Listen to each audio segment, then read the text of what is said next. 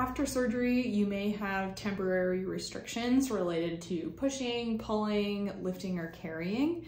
This means we gotta think about all of the times throughout your day you do one of those activities, which is probably a lot.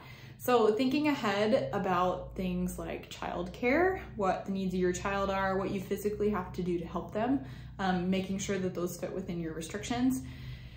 Figuring out dog walks, right? Or care for your pet, same story. Um, even something like laundry, getting clothes in and out of a low load unit uh, may be a bit of a challenge right off the bat. And also house cleaning.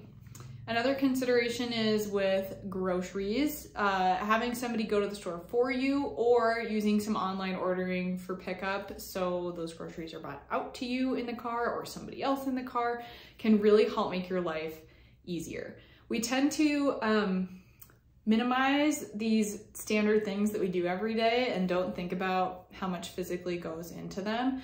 So write down some of these options and then think ahead. Consider making a shared calendar on, on like Google Calendar or something like that. So friends and family can step in and help with some of these chores and ask for favors.